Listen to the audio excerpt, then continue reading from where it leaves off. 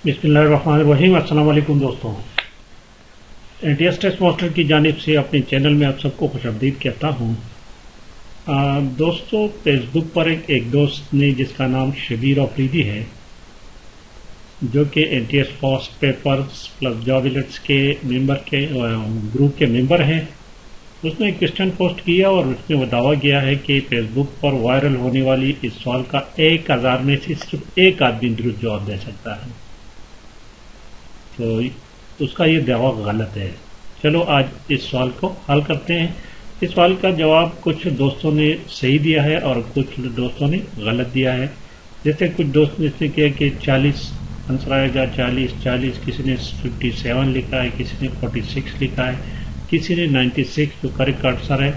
लेकिन ये दोस्तों, किसी को वजाहत की ज़रूरत है इसकी, कि इसकी हम वजाहत करें। तो चलिए देखते हैं कि इस क्वेश्चन को हम कैसे हल करते हैं। देखिए दोस्तों ये है वो क्वेश्चन। तो क्वेश्चन, इसी तरह की क्वेश्चन मैंने आपको पहले बताया था कि जो रेंज हमें दी गई, जो हिंस हमें दी गई, उसका रिलेशन आपने आपस में मालूम करना है पहले। पहले आपने जो तीन आंसर दिए गए ये देखे ये इसका आपस में पहले हमने रिलेशन मालूम करना है कि इसका आपस में रिलेशन क्या है। तब हम इसका आंसर ढूंढ सकते हैं। तो इसको आप कई तरीकों से जाँच लें। तो यहाँ पर ऐसा हुआ है कि इस वन को पहले इससे मल्टीप्लाई किया है फॉर वन जार फोर और फिर क्या किया है? उस मल्टी उसका जो आंसर आया, उसके साथ इसको जमा किया है। जैसे नीचे देखो, ये देखें। पहले वन मल्टीप्लाइड बाय फोर इन दोनों को मल्टीप्लाई किया है, और प्लस वन फिर उसके साथ एक जमा किया है तो आंसर आ गया हमारे पास फाइव अब यही काम इसके साथ करना है, दोस्तों। जो तरीका, जो प्रोसेस हम अपने पहले से दूसरे के साथ वही प्रोसेस करना है। अगर आंसर इसका, ये आए तो ठीक, नहीं, ऐसा नहीं तो फिर ये सवाल गलत रहेगा।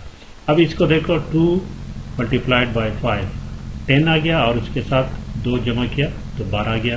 देखिए दोस्तों two multiplied by five plus two is equal to twelve okay now come to term three plus six is equal to twenty one किस तरह आया?